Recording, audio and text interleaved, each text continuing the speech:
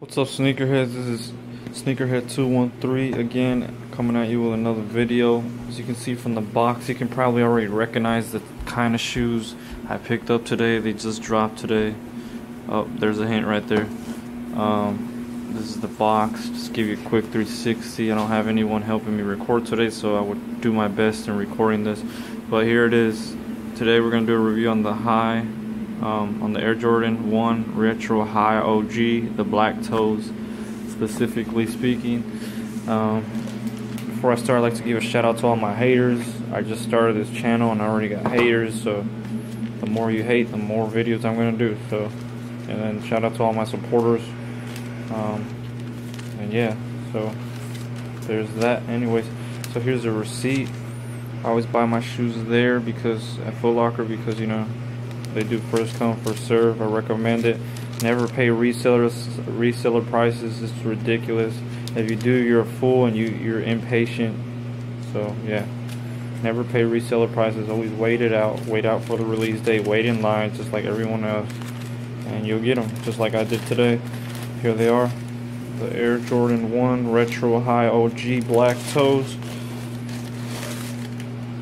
Go. Let me take them both out so you guys can take a good look at them. Really nice shoes. After taxes, these are about 170. Before taxes, they are 160. Um, so yeah, and I actually just bought these today. As you can see from the date, let me see the date on the receipt. I'm trying to find it.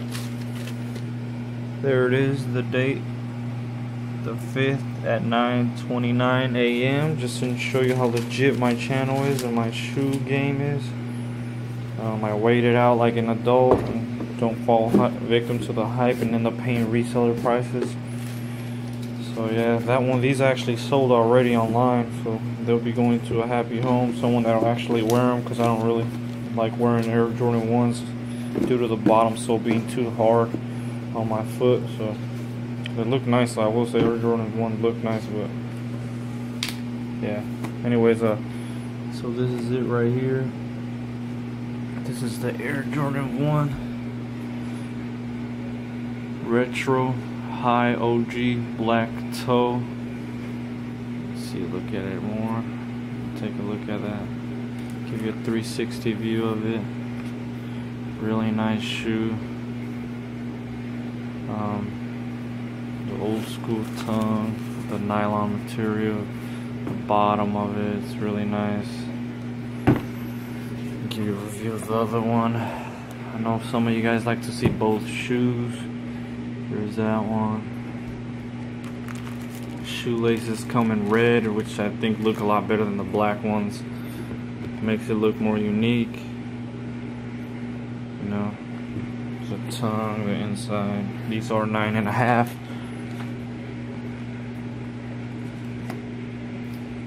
So, yeah, let me know what you guys think about these. Let me start with the review finally. So, these are the Air Jordan 1 Retro High OG Black Toes.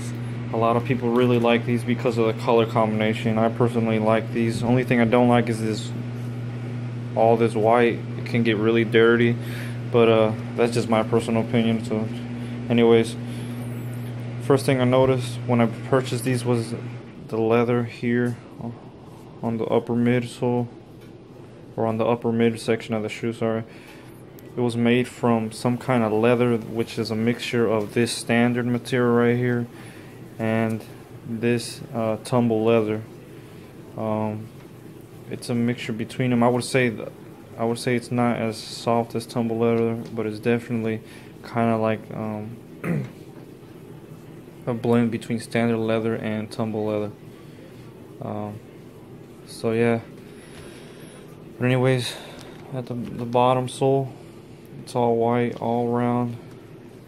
You can see it all white just like the traditional Air 1s. Air Jordan 1s. Really nice. Um, the bottom of the shoe all in red with the Nike logo um, just like it's always been I personally think Jordan should start making the bottom material out of different material that'll last more because if you wear these if you ever wore Air Jordan 1s they get you know the bottom gets faded because of the hard concrete floor. Because whatever you you're running or playing basketball, they won't last too much. But uh, yeah. So the next thing is also the standard leather right here in red. It's not necessarily high quality. It's just a standard quality, but it's still kind of soft to be honest. It's not as good as the, you know the the Banned Jordans that came out. It's not as good as the bands, but you know, it serves its purpose. Let me know. Let me know what you guys think about these. What would you cop or not? Um, moving forward, this leather right here is actually really soft. This leather right here on the black toe is actually pretty soft. I'm trying to get a good view of it with one hand on the camera.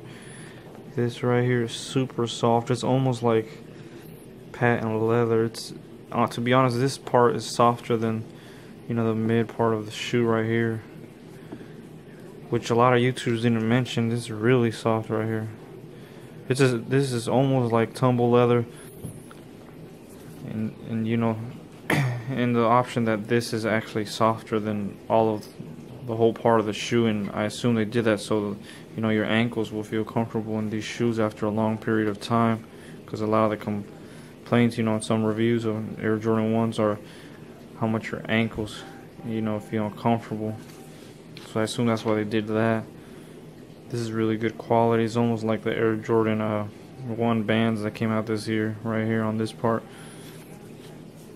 but uh, I really like the shoe.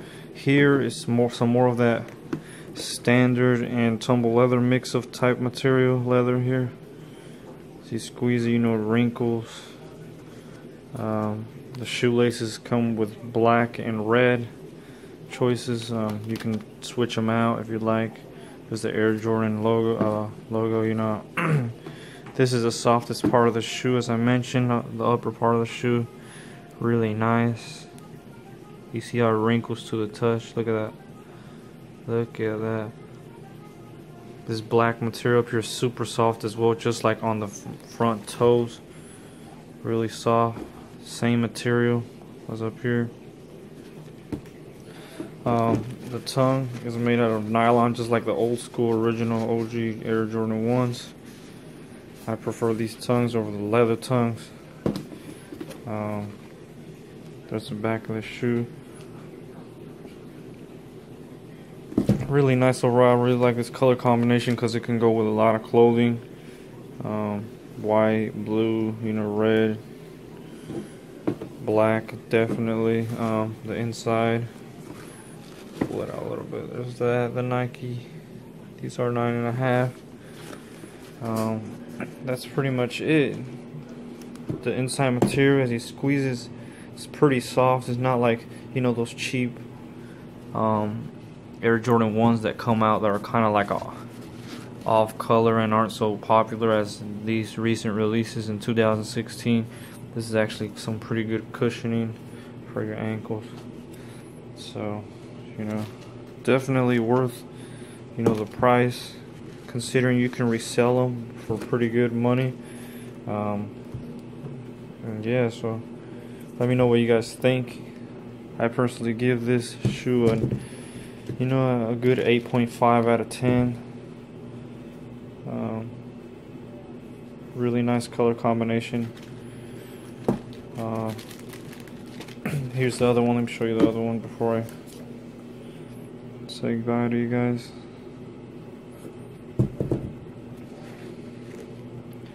So inside of it, it is a nine and a half, as I mentioned. Really dope shoe. Really love this color combination. So soft to the touch here. But my favorite part of the shoe would have to be these, the the part of, of uh, you know where the ankle starts, the upper part of the shoe. Really soft to the touch. If you guys can get these, shout out to you guys. I was able to get them. Just wait in line, be patient.